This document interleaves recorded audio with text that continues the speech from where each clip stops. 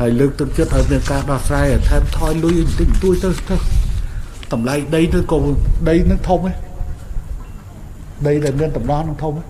ដីនេះប្រហែលជា7ហិកតាសម្រាប់7ហិកតាទិញយកតំណទៅ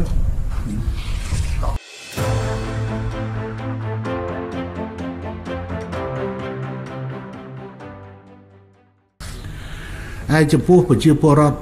មួយគ្រួសារជាប់បណ្ដឹង មានដីជាដីមានម្ចាស់ច្រើនកំពុងក្តីក្តាំនៅតុលាការករណីនេះបន្ទាប់មានការសម្រេចពីតុលាការក្រុមការងារដោះស្រាយសំណងជូនខ្ញុំស្នើឲ្យក្រុមការងារទៅចុះជួយខេត្តពោធិ៍សាត់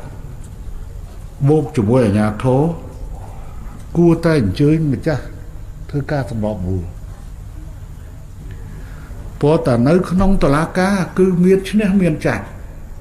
មានឈ្នះមានចាច់អញ្ចឹងឥឡូវបើគាត់ថាដីតែមួយកន្លែងហ្នឹងវាមាន3គ្រួសារឥឡូវហៅគាត់មកទៅជ័យគ្នាទៅជ័យគ្នា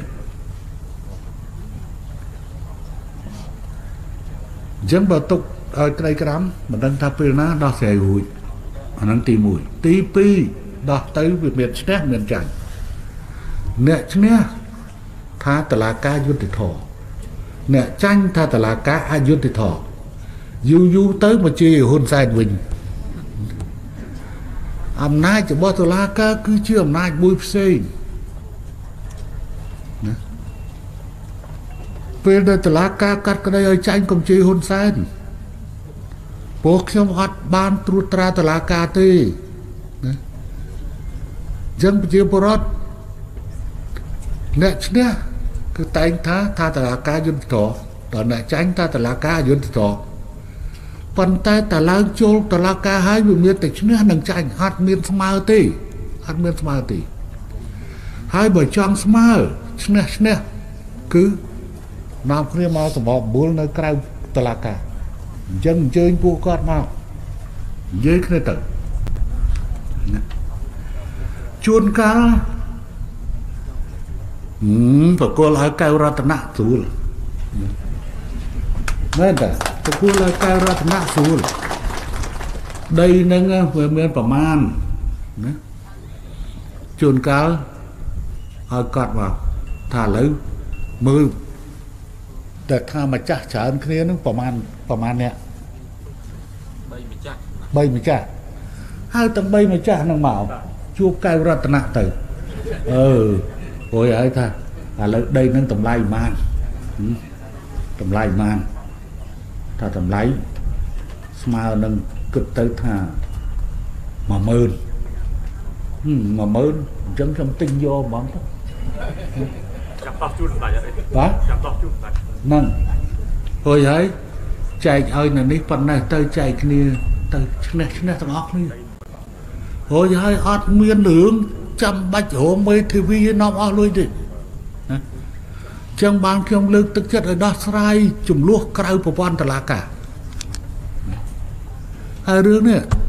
គឺរឿងដោះស្រាយបានបីម្ចាស់តាយើងហៅបីម្ចាស់ហ្នឹងហើយក្រាមរាយូរយូរទៅ អស់សង្កត់ខោទៀតគាត់ថ្លៃមេធាវីនោះហើយអ្នកឈ្នះថាតឡាការយុទ្ធធរដល់អ្នកចាញ់ថាតឡាការអយុទ្ធធរដល់យូរយូរយូរខឹងគោវាយអតេះណាខឹងតឡាការមកមកជេរហ៊ុនសែន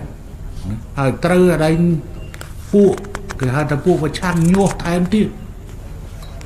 ទៅជារឿងមួយផ្សេងទៀតណាទៅរឿងមួយផ្សេងទៀត ហើយសូមអានេះគ្រាន់តែជាការប្រាំផ្ញើហើយថាសូមជួយស្រួលហើយកៅរតនៈលឿនណាអាហ្នឹងនិយាយនិយាយតាមត្រង់គាត់ទទួលផ្នែកអគិសនីជួយមក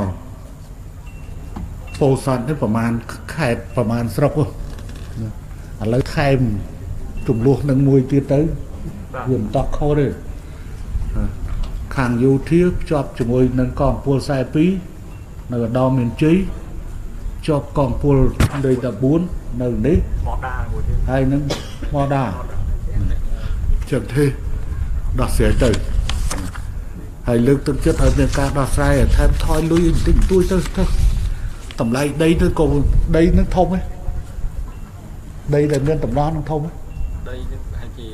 7ហិកតាសម្រាប់7ហិកតាទិញយកដំងទៅក៏សម្រាប់ចិត្តបាទប្រហែលថ្ងៃទៀតដល់ចប់ហ្នឹងហើយហ៎ហ្នឹងជាវិធីហើយមិនចាំបាច់ណែលោកកឹមជំរឿដោះទេអាហ្នឹងយើងដោះបើអាហ្នឹងក្របខ័ណ្ឌនៃការដោះស្រាយគោលនយោបាយហ្នឹងអាហ្នឹងយើងដឹងបាទហ្នឹងហើយចឹងទៅស្រួលដោះស្រាយជាមួយគ្នាទៅ